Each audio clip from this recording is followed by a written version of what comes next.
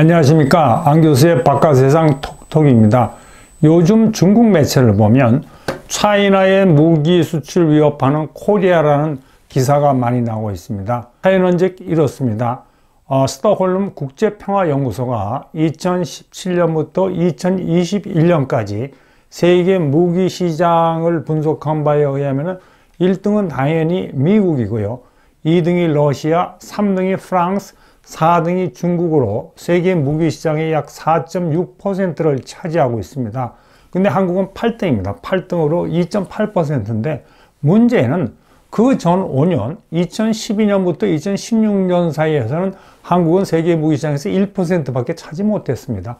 그런데 5년 사이에 두 배 이상 거의 세 배로 확 뛰었는데 전 세계 top 25 무기 수출 중에서는 한국이 가장 빠른 속도로 세계 시장에 진출하고 있다는 건데 중국이 요즘 바싹 긴장하는 이유는 올해에 K방산이 대박을 친 겁니다. 우리 여러분 잘 아시다시피 폴란드하고 100억 불 수출 계약했고 금년 11월 말까지 170억 불이 계약이 성사가 됐고요. 현재 뭐 빈살만 사우디 왕세자가 왔을 때 한국 K방산에 관심 보이고 호주의 차세대 장갑차 어, 노르웨이 K2 우리 흑표전차, 콜롬비아의 FA50 경전투기가 상담 중인데 이것들이 성사되면 200억 불입니다. 차이나가 긴장할 만하죠. 최근에 CNN에 이런 기사가 나왔습니다. 포천에서 우리 국군 사격 훈련을 본 그 기자가 speeding tank, booming K9 자주포 뭐 이런 식으로 확 했는데 이 K9 자주포 K2 흑표전차를 보고 CNN 기자 자체가 아주 반했습니다. 우리가 뭐 월드컵 축구는 뭐 진출하지만 K방산은 4강 진출한다는 게 영국, 독일, 이탈리 제끼고 China도 물론 제끼고 미국, 러시아, 불란서 다음에 이제 4강 진출할 거라고 분석을 했습니다. 그러니까 이제 중국이 이렇게 나오는 거죠. 얼마 전에 이제 중국 매체 South China Morning Post를 보니까 야, 차이나 자신 있다 이겁니다. 얼마 전에 가을에 했던 주하이 에어쇼, 중국이 주최하는 이제 국제 에어쇼에서 무려 400억 불어치 구매 상담입니다. 여러분, 계약이 아닙니다. 구매 상담. 이렇게 왔던 외국 기관들이 이렇게 물어보는 거예요. 400억어치 구매 상담이 있고, 아, K방산, 그 코리아는 단품 팔지 않느냐. 뭐 K2 흑뼈전차, 자주법. 근데 우리는 차이나는 무기 시스템을 판매한다고 자랑을 했는데 이게 거꾸로 해석하면 China가 자기들의 약점을 모르고 있는 겁니다. China가 세르비아에 anti-aircraft missile system을 그 팔았다고 자랑하는데 이게 이렇습니다. 저게 이제 중국이 맹긴 건데 대공 미사일 시스템에 레이더 차량이 한 대 있고 옆에 발사 차량이 세 대가 딸려가는데 요 발사 차량 한 대당 미사일 네 발을 장착하는 거예요. 그러니까 하나 시스템이죠. 레이더 시스템, 발사 시스템이라고 자랑하는데 근데 여러분 세계에는 세 가지 무기 시스템이 있습니다. US 시스템, 러시아 시스템, China 시스템입니다. China 시스템은요. 기본적으로 러시아 테크놀로지를 라이센스 받든지 살짝 베끼든지 훔친 거에다가 플러스 China가 자체 개발한 건데 이게 우리 방산에 비해서 두 가지 결정적인 약점을 갖고 있죠. 이번 우크라이나 전쟁에서 러시아 시스템이 US 시스템하고 게임이 안 된다는 게 드러나지 않습니까? 허접한 러시아 무기 시스템을 차이나가 라이센싱 받았고 그 다음에 중국이 자체 개발한 무기 시스템은 결정적인 약점이 뭘까요? 그 러시아 무기 시스템은 허접하더라도 그 실전에는 많이 써봤거든요. 검증을 받았습니다. 실전에서. 근데 차이나가 자체 개발한 무기 시스템은 전혀 실전에서 사용을 안 해봤기 때문에 검증을 받을 수 없는 겁니다. 이게 이제 차이나 무기 시스템의 결정적인 약점이고 우리 K방산의 강력한 저력이고 그 다음에 수출 구조를 보면 우리나라 무기는 전 세계를 상대로 팔고 있습니다. 예를 들어서 K9 자주포를 보면 유럽의 노르웨이, 핀란드, 폴란드, 나토 국가, 터키, 인도, 호주 이런 나라에 팔고 있는데 중국의 무기 수출은 항상 세 나라에 집중되어 있습니다.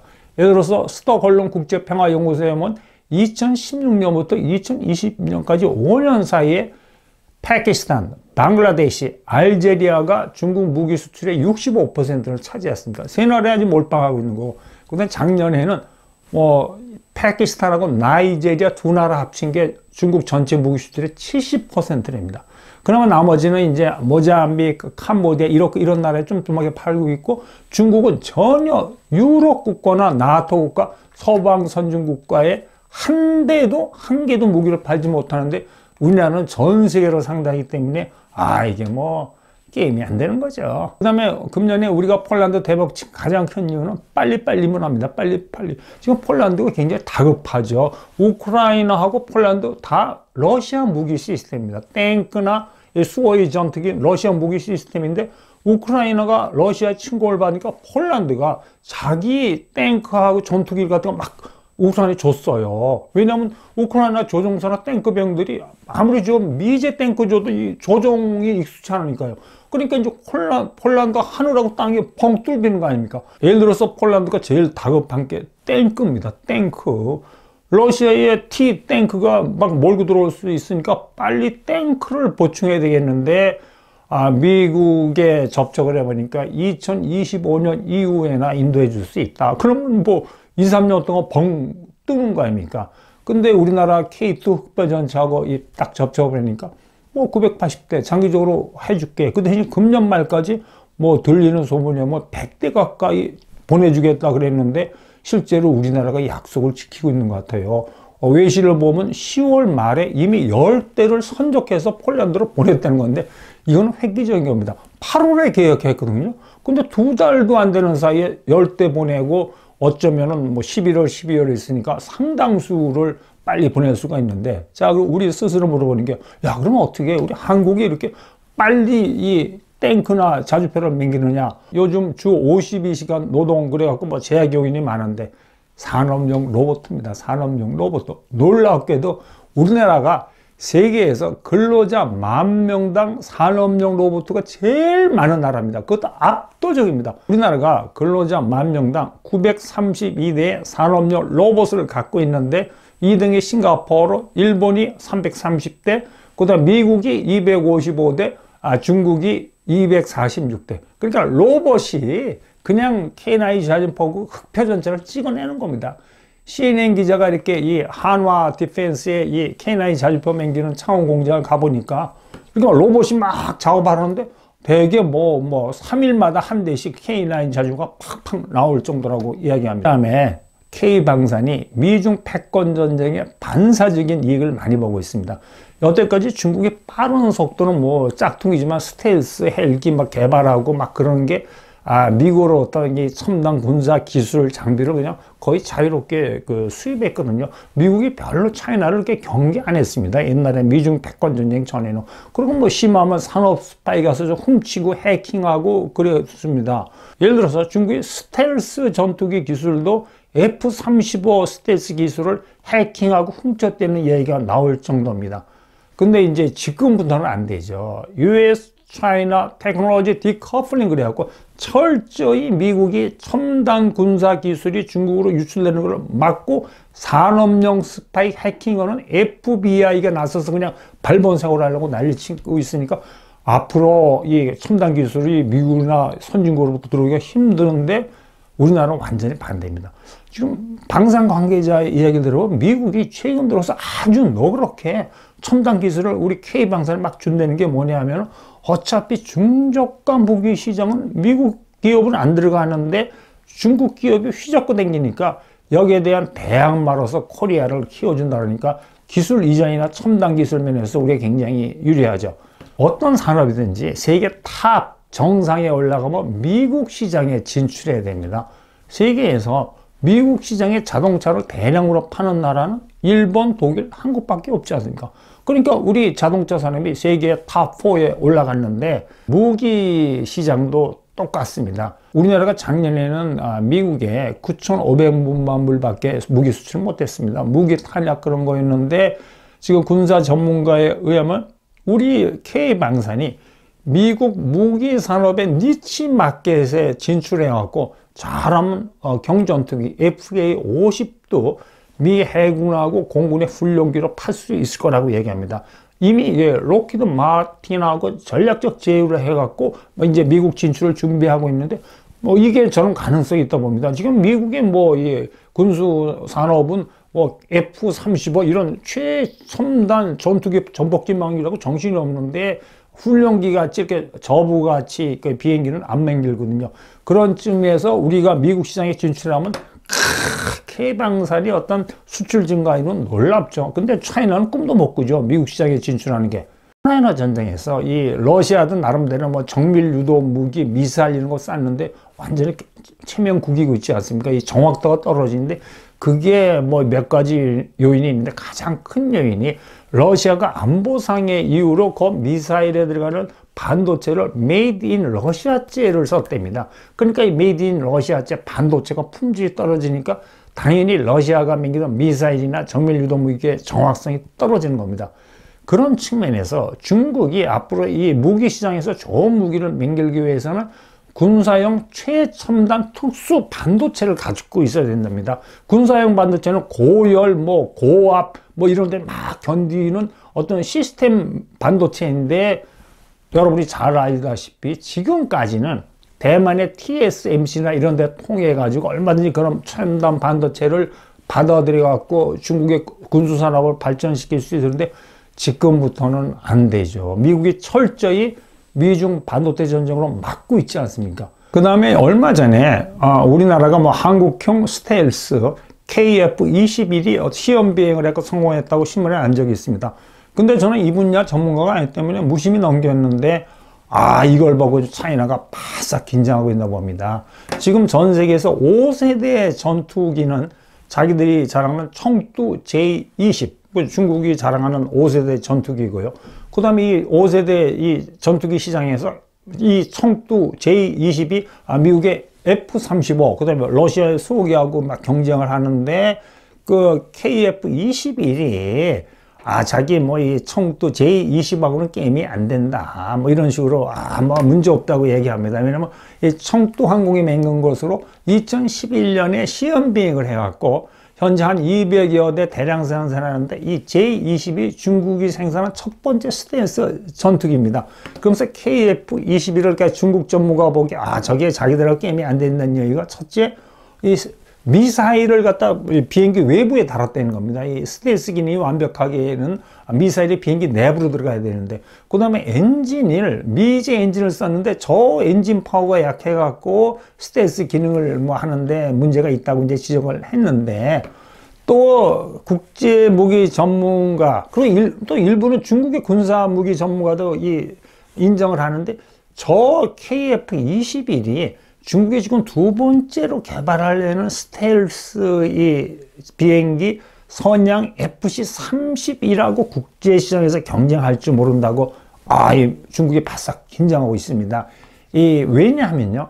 KF-21이 이게 기본적으로 한국이 혼자 개발하는 게 아니고 Lockheed Mar, Martin하고 이렇게 손잡고 개발하기 때문에 뭐 엔진 파워가 약한 거 그냥 미제 엔진 센 걸로 교체하면 되고 아, 디자인도 Lockheed Martin하고 협력하고 디자인 바꾸면 되는데 중국이 바싹 긴장하는 거는 전자 장비입니다. 이 중국의 뭐이 스텔스기는 모두 다 중국이 스스로 맹긴 전자 장비 레이더 시스템을 쓰고 있는데 우수한 AESA 레이더. 이건 뭐 최첨단 전자장비 이거 다 미, 미제죠. electronic optical target pod 이것도 뭐 전자장비 시스템도 다 미제 쓰는 겁니다. 여러분 전자장비 많고 크게 군사무기에서 정밀유도무기에서 made in United States하고 made in China 차이는 말도 못합니다. 이게 러시아 전쟁에서 메이드 인 러시아하고 메이드 인 USA 차이가 크게 나타나지 않습니까 그 다음에 우리 KF-21하고 선양 FC-31 그 두 번째 스텔스 비행기하고 비행 반경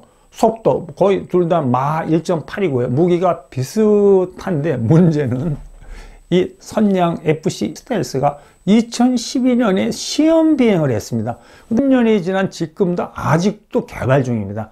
아, 들리는 바에 하면 요, 요거를 이렇게 랴오닝이나 삼동과 같은 함재기에 쓰려고 그러는데 아직도 이제 언제 개발이 완성될지 모르는데 우리나라는 2026년부터 대량 생산을 하고 2028년에는 한 40대, 2032년에는 120대 정도 대량 생, 산할 거라고 이야기합니다. 물론 계획대로 될지 안 될지 모르겠지만 하여튼 우리나라 한 가지 장점이 빨리빨리는 잘하지 않습니까? 그 다음에 잭 와틀링스라고 Royal United Service Institute 런던에 있는 군사관계 뭐 연구소의 잭 와틀링스라는 사람이 이런 얘기했습니다. 자기가 코리아 와서 이렇게 K 방산을 보니까 야 코리아가 완벽한 testing ground다. 아주 추운 겨울, 더운 여름 이게 다 있지 않습니까? 이 K2 흑표 전차가 노르웨이에서 독일의 레오파드 전차하고 이제 시범 운행을 했는데 독일의 레오파드 전차가 로, 노르웨이 춥고 막 눈 덮인 데서 버벅댔나 봅니다. 추위에 약한 거죠. 근데 우리 K2 흑표 전차는 쌩쌩쌩 잘 달렸답니다. 우리나라는 겨울에 눈 많이 오고 춥지 않습니까? 그 다음에 이제 무기가 중요한 게 고온 다습한 데 있지 않나 습기의 무기가 약합니다. 특히 정밀유도 무기가 약한데 아 우리나라는 있잖아 장마철에 얼마나 습도는 없으니까 그 다음에 이 탱크가 뭐 이 평지만 달리는 게 아니고 뭐 이 늪지도 달려야 되고 산악도 달려야 되는데 우리는 논도 있고 산도 있고 그러기 때문에 아, 잭 웰튼스 기자가 이해한 식으로 아 테스팅 그라운드가 이제 한국이 절대적으로 유리하고 그다음에 중동전에서 이 이스라엘 탱크가 이 중동 탱크를 확 그냥 무찔렀는데 여러 가지 요인이 있지만 그 중에 하나가 이스라엘 탱크에는 에어컨 장치가 있었답니다. 근데 중동 국가의 탱크는 에어컨 장치가 없으니까 이 탱크 속에 들어가면 엄청나게 덥지 않습니까? 사막에서 열사의 그 태양 아래서 엄찜통인데 아 이스라엘 탱크는 에어컨 있으니까 느긋하게 뭐 사격도 정확히 하고 그러기 때문에 이런 게 굉장히 중요한데 근데 우리나라 이 K 방사는 노르웨이 같은 나라에 수출할 때는 야너 뜨뜻뜨뜻한 아주 최고의 난방 시스템 인도 같은 나라에 수출할 때는 에어컨 시스템 다 달아주는 완벽한 커스터마이즈된 어떤 이 K 방산입니다 그 다음에 이제 제가 도요타 자동차를 가보니까요. 이 빨, 위에 하얀 빨랫줄 같은 게 있어갖고, 이게 근로자들이 조립하다 약간 의심적이어서 빨랫줄을 당기면 모든 생산 라인이 스톱하고 엔지니어가 가서 이렇게 상의해가지고 그 문제가 해결된 다음에 이렇게 생산 라인이 움직입니다.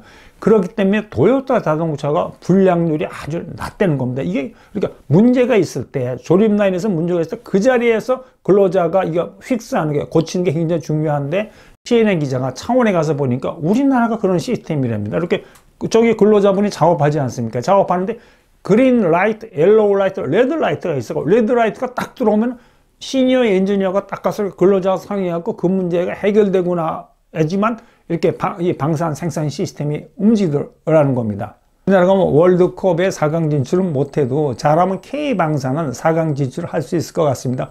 오늘은 여기까지 하겠습니다. 여러분 오늘 하루 원더풀 하십시오. 감사합니다. K방산도 원더풀입니다.